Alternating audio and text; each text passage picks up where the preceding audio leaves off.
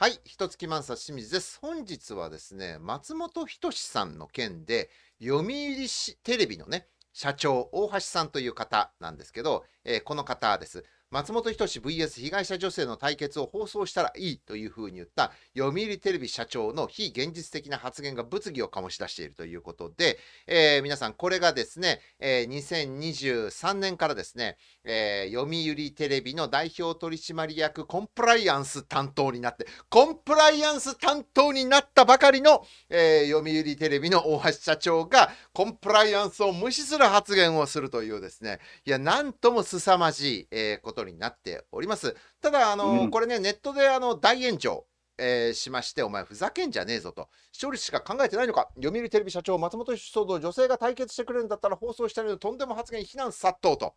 いうことに、えーなっているんですが、後に弁護士 .com ニュースがですね、松本人志さんと被害報道の女性が番組で対決発言に批判殺到、読売テレビ社長の真意はっていうところで、まあ、結構報道のあの発言の仕方の部分で少し捉え方とかも違ったりはするんですけど、まあ、あの、それどちらかというと、いやいやいや、きちんと見てあげようよ、切り取っちゃダメだよねっていうふうに、まあ、配慮してる記事なんですけど、いや、お前、あの、こんなね、センシティブな問題を、マスメディアの社長で、かつ代表取締役でコンプライアンス担当してるやつが発言するんだったら、そんな風に捉えられないような発言をそもそもするべきだろうという、えーツッコミを入れつつですね、この読売テレビの私、決算書あの拝見いたしました。で、決算報告書の中にですね、えー関係者各位というところに書いて、あのこれと取締役の選任が書いてあるんですけども、えー売上はこう下がりですね。で、そして、えーこの取締役にどういう人たちがいるのかっていうところをチェックしていきたいなというふうに思います。そこから分かったですね、そらこの会社腐ってるわっていうふうに思った事実を本日は皆さんにですね、えーメディアの専門家である本間隆さんとですね、えーお伝えしていきたいなというふうに思っております。本間さんよろしくお願いします。よろしくお願いします。いやー、まずですね、どういう発言があったのか、まず炎上した、ねえータイミングで、えーの報道のされ方としては、このフラッシュがあるんですが、まあ、中華のまずそもそもこのダウンタウンのあの松本さん、何の問題なのかというと、文春法でね、もう3連発食らってるんですけど、えー現在7人目の告発者が出ている状態で、松本人志さんに、まあ、性的に P 強要を無理やりされたんだというようなことになっているんですよ。で、これに関して、えー吉本興業は当初事実無根であると。当該事実は一切ない。というふうに言っていたんですが、えー東京新聞、望月磯子さんの記事に対して、えー強要はしてないんですというふうに、だいぶ大きく後退したなという。だって、最初は、いや、そんなん、そんなことをやってないんだっていうふうに、うん。こう言っていたのが、いや、やった一け切事実無根。そう、もう一切事実はないんだと言っていたのに、いや、やってましたと。飲み会もありましたと。で、あの無理やりじゃないんですって。いや、なんかそれも、お前、あの、えっとね、バカな男が浮気現場抑えられて嫁さんに追及されるみたいだね、これも。吉本のボケかっていうぐらいですね、えー世間からそうツッコミを浴びているこのセンシティブな問題、これに対して、朝日とかサントリーとかアコムとか、いろんな企業がね、あの撤退をしていっていて、そのスポンサー様からのお金を預かって番組を運営しているのがテレビ局という存在でございましてですね。で、そこで、えーまあ、ジャニーズ問題とかもあったから、コンプライアンスとかきちんと考えて運営しなければならないのが、この大橋社長でございますよ。うん。素晴らしいと思いませんか？で、この決算書を見る限りですね、2023年の去年ですね、去年の春段階で、えーこの読売新聞のですね、代表取締役社長放送制作コンプライアンス担当経営統括になりました。うん。で、前は代表取締役ではあったんだけど、経営統括と SDGs を担当されてたんですね。このような発言をされる方が SDGs とコンプライアンス担当って。ピーって、へそ茶が湧くよ、本当に。まずそうな茶だけどなって感じやけど。何なんですか、これは。いや、すごいね。すごい。これは何なんだ、何だったんだっけ？なんか定例記者会見の場であれ言ったのかな？で、えーこれはですねあのそもそもいつどこでえー言ったかというとですね1月の17日の会見で一般女性に性的行為をピーしたというね疑惑が「週刊文春」で報じられている松本さんに言及して被害を訴えている女性と番組で対決していただけるのであれば今すぐにでも私は放送したらいいと思うんですよ。はははっは。え今のブラックジョーク面白かった？みたいな多分そういうノリなんだと思うんですけどいやこれがあのもう大炎上しておりまして。でちなみにですねこのこの人のキャリア私調べてみたんですけどほウィキペディアによるとまずそもそも早稲田大学政治経済学部をご卒業された後にですね読売新聞に入社されております。で読売新聞の役員執行役員で広告局の局長まで行っています。でさらに取締役にまでなって常務にまでなって専務にまでなってね。だから読売新聞の超エリートですようん。でそして読売新聞グループ本社の取締役になりそしてあの中央公論社の社長にもなって。中央公論ってあの中央公論ってあのどんな、えー出版社かというとですね。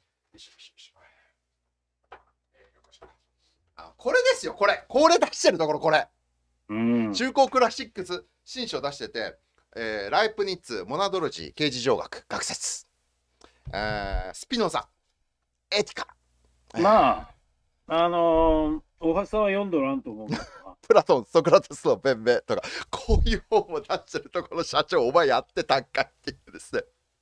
いやまあそれで、えーまあおそらくお年的に読売新聞の東京本社副社長まで行ってから顧問を経験してでそして、えー2018年読売テレビにやってきたっていうことで、まあ、だから天下りみたいな感じ、お親会社からやってきたっていうそれがこの、えー社長様でございます。うん。まあ、それでさ、2、3年いて、うん、また辞めるとき退職金でももらって、うん、グッバイっていう感じで、楽しようかなと思ってきたと。さあさあさあさあさあさあさあ。うん。なんかほら、写真も楽しそうじゃん。あーなんか、あともうちょっと、えーあといくつ寝たら退職金みたいな顔してるじゃんよ。もういくつ寝たら退職金って感じでやってるわけですね。でけえお年玉だな、おい。お いいいな、おい。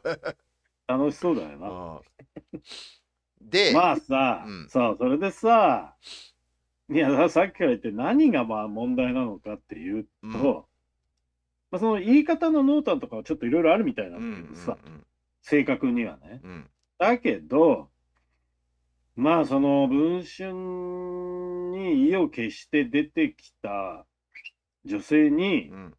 うーんとその松本人志と番組の中で直接対決、うん。直接対決っていうか、まあ、直接合わせてうん。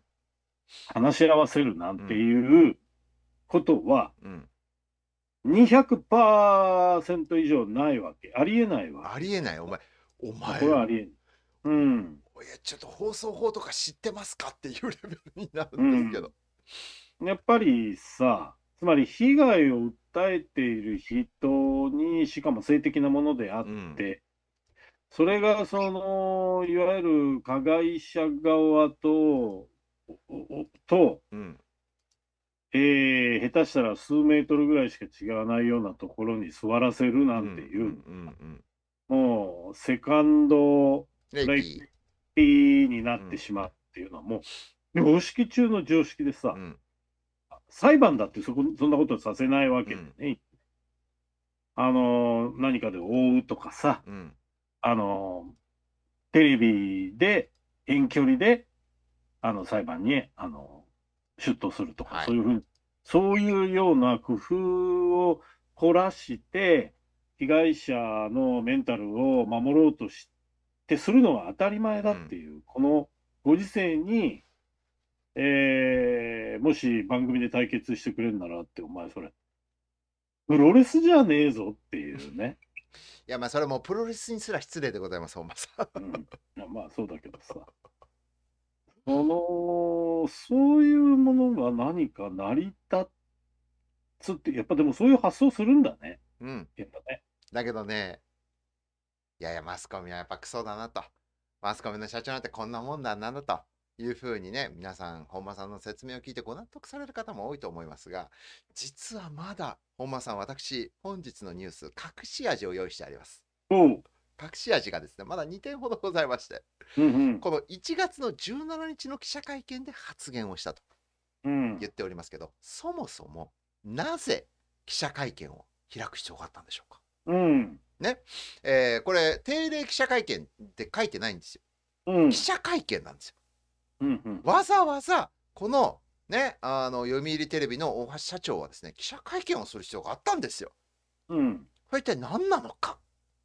なんですけどこれは NHK でも報じられたと思うのでご存知かもしれませんが読売テレビ社員約1400万円を不正請求懲戒解雇処分こちらがあったんですよ。番組制作会社に依頼して架空の演出費など、えーおよそ1400万円を不正に請求させていた。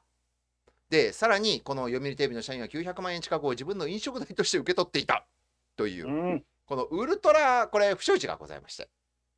で、その時にこの社長はですね、読売テレビの社長は、社員1383万円の不正請求を謝罪。私の人生でも指折りの痛恨の事態でございます。コンプライアンス担当としてこのようなことがあって誠に申し訳ありませんでした。でまず謝った後に松本さんの件どう思いますか？あああれな被害者の女性とさ対決したらめっちゃおもろいよな。いやこれ まず人生で痛恨の出来事ですっていう社員の不正があって謝ってるのもお前ただのポーズだよね絶対。その後に、あ、松本さん、あ、東女性対決したら、えろ、よろしいおますなみたいな感じでですね。何をこいつ。すごくないですか、これ。うん。定例記者会見で、急に飛んできたものに対して炎上したんじゃないんですよ。謝罪。不正請求の謝罪の場で反省しておりますって言ってるのに、なんか、松本の件で延長するというですね。これはなかなかですね、ちょっとアホ度が高いなという。これ何？あの、吉本出身じゃないんだよね、この彼はね。えーとですね、この読売テレビさんですね、社長、私も吉本出身だったら面白いなと思ったんですけど、違うね。残念ながら日本の超大新聞、えー読売新聞の取締役までご経験されて、じゃあ、生まれは関西なのかと思いましたら、やっぱりですね、あの神奈川県、普通に。この県なんだ。しかも、シティボーイ、横浜でございます。の、うん、なので、まあ、東西関係なくアホはアホなんやなというふうには思いましたけど、謝罪会見で私の人生で一番あの痛恨の出来事です。社員の不正請求申し訳ありませんでしたって言った後に松本で炎上するってこれ、なかなか高度なギャグですよ。ある意味吉本超えてるこれ。な、売ってるよね。素晴らしい。うん。そんな社員の不正請求ぐらいさ、なの日常茶飯事的にあるわけよ、このがこの業界は、別に。でそれをさ、なんか何？え？じ人生の一大痛恨時なんて、お前がやったんじゃないんだから、そこまで言う必要ないと思うんだけどさ、だからポーズ、ポーズ。あ全くのポーズだよね。だから心から何も思ってない鎮痛な面持ちなんていうのも全部嘘だから、うん。松本の件に何に触れられたら「おう直接対決おもろしろいんちゃう?」っていうふうにこう言っちゃったっていうんですねもだよね。うで言い方の問題はいろいろあるよ。いろいろあるけどでもメディアのね人ですよね。でしかも別になんか総務省からの天下りとかじゃないんですよ。そうね。うん。生え抜きなんですよ、読売テレビだけじゃなくて読売新聞の役員まで務めたもうメディアでどういうどれだけ怖いかっていうことを分かっていてしかも謝罪の会見だから自分は悪く見られている時になんか結局なんか言い訳みたいな感じでいやちょっとなんかシーンが伝わってみたいないみたいで困惑しているとか言っていやお前はまずプロ失格だよって。もうなんか何から何までいやもうこれああ。あ、だからあれでしょ？読みテレの番組に出てくれればっていうんだよね。そうそうそうそうそうそうそう。そうあれ何、何だったっけ？ダウンタウンデラックスだったっけ？なんか番組ダウンタウンデラックスやってます。持ってるから、うん。そこに出てくれればなっていううんね。もう前年比割れしてるし、そうでこれねあの決算書に売り上げ書いてあるんですけどやっぱね儲かってないんだわうん。伸びてないんですよね前年比で見ても、まあ、ローカル局みんなそうだけどね。うん、うん。で、やっぱり数字もきっついから、つい、つい本音が。ああ、なんかバトルロワイヤルみたいな、なんか番組できないかなーって思ってる本音が出ちゃうわけよ、やっぱりそこで。えーちなみにダウンタウンデラックスのですね、えースポンサー様はですね、え2時間スペシャルの時はですね、えーまずアート引越センターセブンアイ・ホールディングス P&G、えー都道府県、えー共済、えーとかそういうところがあと日本郵便とか入ってますね。でこういうところがおいいじゃないの。もう何でもいいよ視聴率取れるんだったらセカンドリピートでも何でもいいよスポンサー出したるわって。いや高須委員長じゃねえんだからさ。ほんだ高すい。高須委員長早速ダウンタウンデラックスのスポンサーに名乗り上げっていうニュース出てました出たね。許されないからそんなのスポンサー降りちゃうからだからそういうこと高須委員長みたいなね。うんもうオーナー企業はうさ、んそれで何やったっていいんだよ、オーナーが。うんオーナー側リスク取りゃいいわけです。だけど、一般の上場企業では、それはもう無理なんで。でしかも何がツッコミどころかってそんなお前スポンサーのことすらも分かってないんか大橋義光って思ったら先ほども伝えましたけど読売新聞の執行役員で肩書きは広告局の局長様でございますからね。分かってるはずでしょそれぐらいのことって。いやもうちょっとなんかもう何から何までツッコミが多すぎ。まあ、普通なら分かってるはず。うん、ただ、まあ、あれだろうね。電通と博報堂におんぶに抱っこだからさ。うんあの、難しい交渉とかはね、うんこんな新聞社の広告局のさ、うん社長なんかもちろんやらないわけでね。えー新聞社の広告局の局長ね社長あ、局長ね。で、このラインだったら、そのラインだったらもう間違いないけど、うんまあ、スポンサーの、うん、やっぱり社長とかさ、うんスポンサーの広報部長、広報局長と、うん。まあ、年1回ぐらい飯食うかなっていうね。うんうんえーあの、うちのスペース、しんあの広告もよろしくと、うん。ね、うちは政府べったりの記事よく書くから、あの、人気あるんです、みたいな。そういう飲み会とかもやるんだけうんどさ、うん。まあ、スポンサーと全く合わないってことはないからう、んうん。あので、しかも、競技、スポンサーが一番気にしているのは何かう。んで、当然、去年、ジャニーズ問題というのがあった。うんうんそういう話は当然肝に銘じているはずなんだけど、うんあ、わかったわかった。ん？この大橋君やっぱりさ、自分もちょっとこう、メインに、あのーあれだったら、登場したかった？メインストリームに。ああなるほど一緒に俺も炎上したかったそうそうそうそうそう。うん。ちょっと見てるだけじゃつまんねえなと思って、参加しようとしたんです。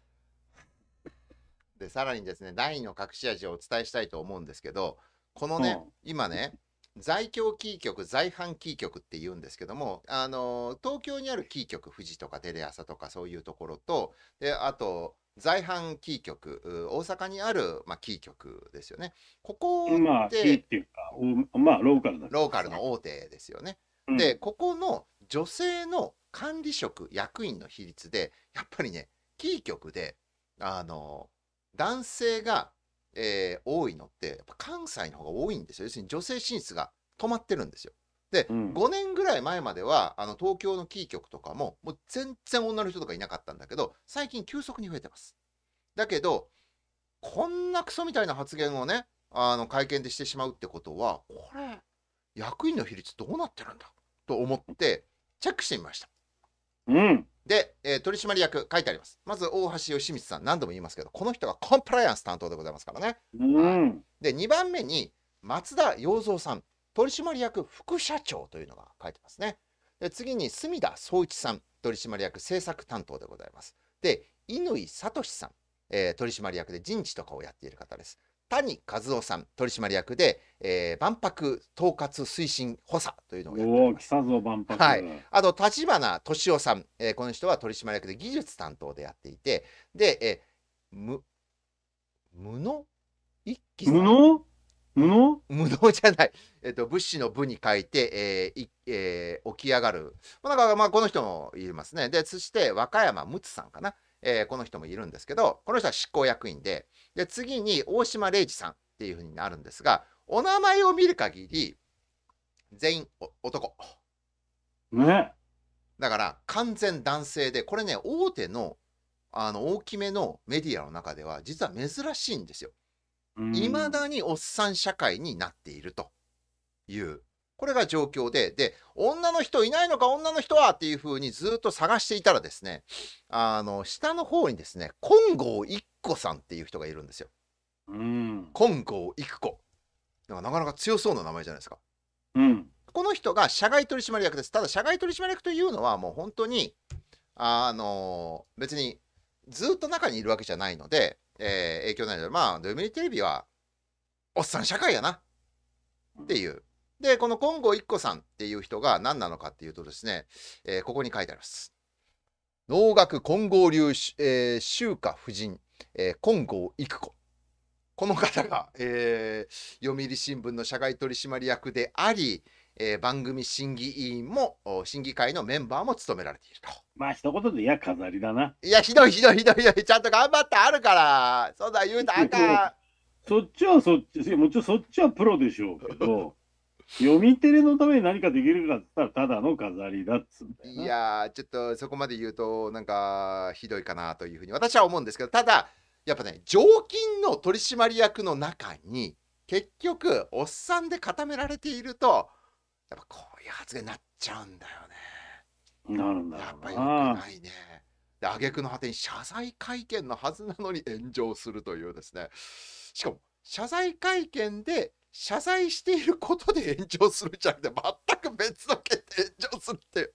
しかもそれが広告局も務めてメディアのプロだったってな、なんじゃこりゃっていう、もう、なんか、まあね、あの、新聞社のさ、うん、広報担当局長なんてうさ、ん、本当にさっきも言ったけど、うん。全部電通と博報におんぶに抱っこなんだからさ。こんなもんですか。うん。でもんなもんだよ。ただそこに座ってた。つまりだ。うん、ちょっと逆の見方をすればだ、うん、読売新聞に入ったんでしょ？うん、うん、読売新聞に入ったのに記者やらないで広報担当やってたんだうん、うん、ろ、うんうん。どんだけ優秀だったんですかねいやもう素晴らしい能力があったんですよ。記事を書いても素晴らしい能力があったけど、君の能力は広告局で生かされるべきだというふうに言われたんじゃないんでしょうか。なんかそれっぽいよね。ちょっとものすごい失礼だけど。細かいことは知らないからさ、いや記者、記者もやったとは思うよ、記者も。もちろん。記者もやったとは思うけど。おそらくね。うん。でもさ、広報担当っつったってさ、うん。ね、いや、明治新聞の広報担当必要ないだろ。あってもなくても同じだろうって。鍋つねがいるんだから鍋つねにさ、ずっと広報担当やらせてればいいわけでさ。うんてんだっけ、鍋つねって。な別に生きてるって毎回さなべつって生きてるんだっけっていう話になりますけど彼が死んだら大ニュースになりますから大ニュースになるよね。なるよなべつね読売新聞主筆読売新聞ね主筆でありジャイアンツ超大好きっ子うん、ジャイアンツの長期低迷はあいつのせいだっていうね。間違いないよね。うちの番組のレギュラーのですねあの佐藤さんがですね朝日新聞時代にですねなべつねに取材してえなって言ってなんと突撃取材したことがあって社長室行ったらなんか大貞治のポスターとか写真とか長嶋茂雄の写真とかもバーって並べてたあこの人本当にジャイアンツ好きなんだなっていうことが嘘抜きで分かったっていうああ、まあそうだろうね。本当に好きなんだと思うよ。本当に好きなんですがなべつねさん生きてますからああ。まあとか言って別、でもね、あれだよね。あのー NHK の特集でさ、うん彼はほら、戦後の政治畑、政治局長、うん読売の政治局長まで全部やってて、うんでやっぱり戦後政治史をやっぱり、もう戦後政治史を生で見た最後の世代だよね。だからすごい面白かった、テレビであの、うん中曽根について語るときとかさ。ね、そういうのってすごい面白いなと思ったけど、やっぱりちょっと晩年な、ちょっとなっていう感じだよね。はい、えー、御年97歳でございます、現在。もうあれだろう。本当はいねえんだろう。あれと一緒で。え池田対策いや、でも共産党の不破鉄道いたよ !93 歳で。今回の共産党大会で引退したけど。不破さんってさ。いや、もういいや、いや、もうだいぶずれた、だいぶずれた。まあ、ちゅうわけで、松本人志さんの件はですね、このメディアの意識も問われているっていうか、まあ、なんかあの、チェックすることになってますよね。この読売テレビみたいな。こさまあ、こういう言い方をしてないとかね、うん、もうちょっと違う言い方だったとか言うけど、大義はこういうものなんだよね。うんうんうん、自分えっと、だから、直接対決っていうとなんかさ、うん、こう相対でさ、うん、カーってやって、こうなんか、うん、あの、うわーってやるみたいに聞こえるけど、そうは言ってない。うんうんもしできるならばうちの番組にも出てほしい程度の話だって言うけど、うん、もうそこからおかしいからっていう。もうそこからおかしいから。なんでそういうふうなことが考えられるのかっていう。うん、いや、あれで、あの、100歩譲って、うちで検証番組をそうそうそうそうそうそうそれならまだわかるよ。だからもし読売新聞、読売テレビのこの大橋社長が言うとしたらですよ。松本義さんの件質問されましたと。いや、今回は週刊文春さんにやられてしまいましたと。本来はこういう調査的なものも含めて、テレビ局も真剣に、なんせ出演していただいている身でございますので、いや、ちゃんと報道する、調べる。これ大事なことだと思いますので、そういう中で松本さんの言い分、当然あるでしょう。ただ、当然被害者の女性の方々の告発の言い分、こちら双方しっかり取材して番組など作れたらいいなというふうに思っております。まあ、これだったらさ、別に、ふーんって思うじゃん。うん、でも、なんか、直接対決してくれたらいいなって。しかも何度も言うけど、社員の不正請求の謝罪会見の時にこれ言うてるからね。アホかっていう。やっぱこれもあれか？あの、なんか、シャレのつもりで言ったのか？あの、ちょっとこう、関西風の、うん、ちょっと追い足してもろたみたいな感じ、うん、で、ちょっと笑いで済ませようと思ったのかな？いや、多分その程度なんじゃないですか。だよね。うん、どうもなんか、なんかよくわからない。本当になぜそういうことを言わないといけないのかっていうね。しかも、しかも自社の謝罪会 そうですよ、自社の謝罪会見ですよ。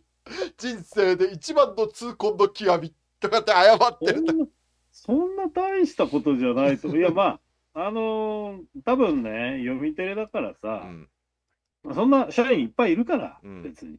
心配しなくても。うんうん、あの、一人や二人じゃないって。うん、そうね。うん。うん。あの、これね、やっぱり、これ、代理店でも普通にあってさ、い、ま、だに時々起きるんだよね。そうね。博報堂でも電通でも時々起きるけれども、うん、読みテレでこれが一人の社員でできたということは、うん、いくらでもできると思う。そうね。